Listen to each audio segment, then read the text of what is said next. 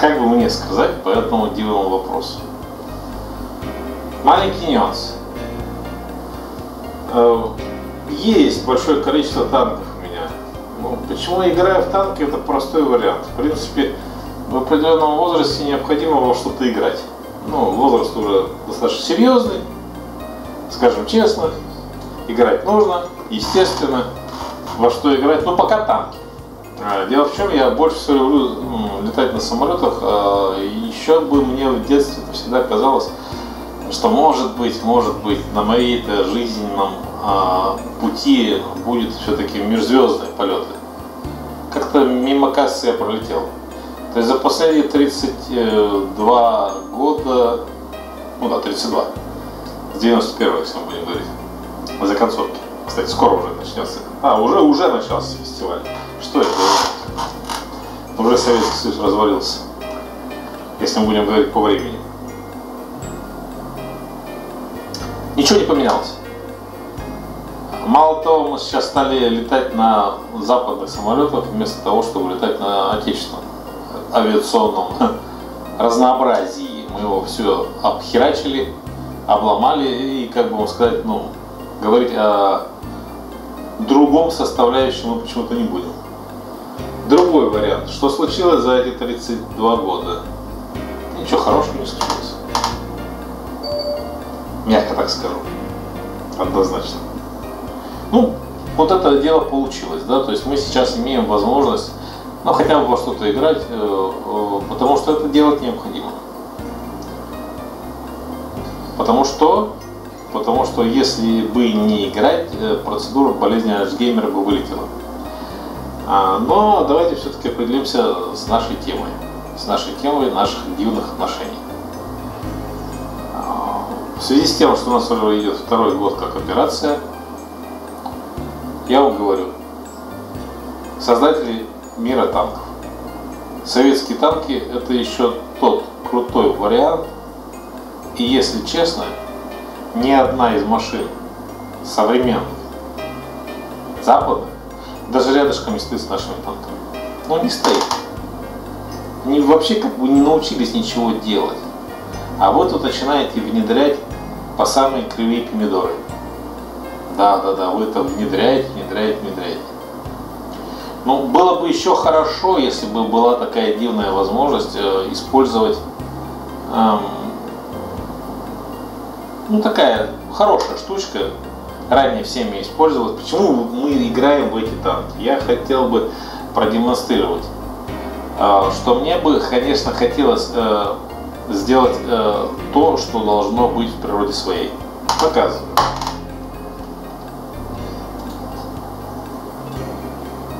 второго. Все не торопимся. Сейчас немножко будет. Вот эта машина была. Эта машина была. Эта машина была. Эта машина была. Эта машина была. Эта машина была. Эта машина была. Эта машина была.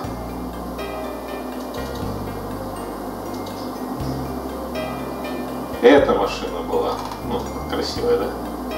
34 наша. 3485, да? Эта машина была.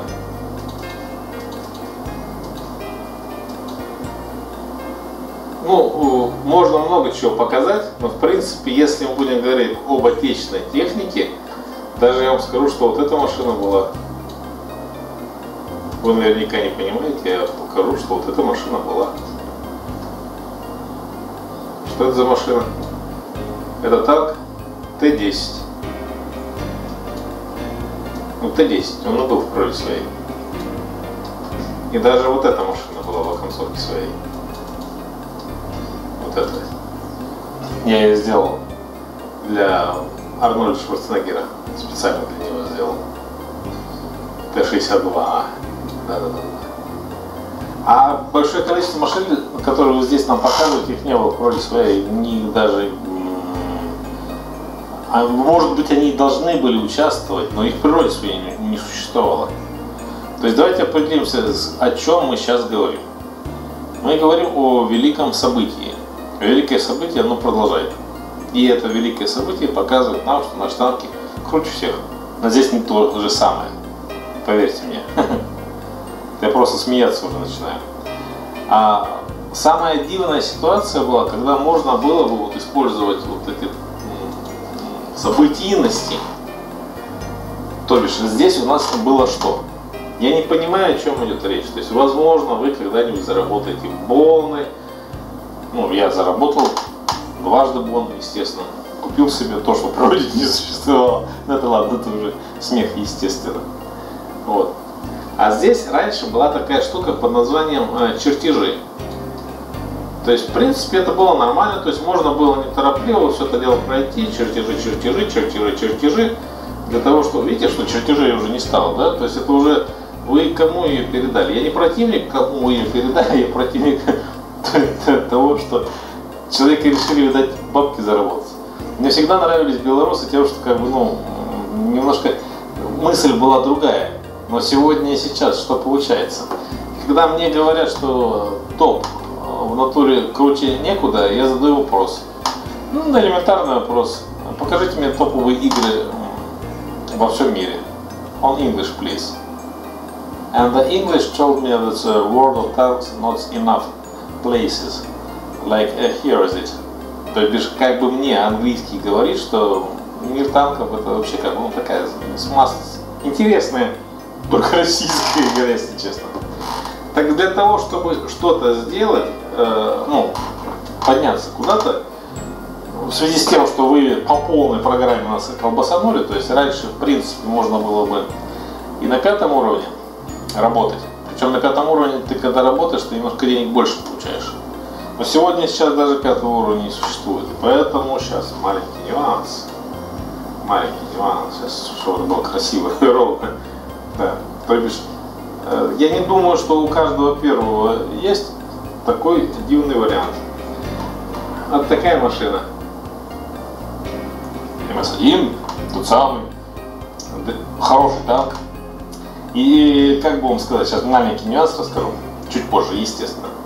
Так вот на этом МС-1 я уже заработал миллион сто тысяч. Прикольно, да? Миллион сто тысяч этих вот, вот этих, которых не круглые, а вот которые там дырявые, золото. Не золото, в смысле, это звездочки. Вот, вот, вот я о чем буду говорить. Миллион сто тысяч. Ну, то есть ничем другим я не занимался, просто решил. Я не так часто за этим делом и занимаюсь. Ну, сделал. Сделал, было красиво. Но возникает дивный вопрос к создателям.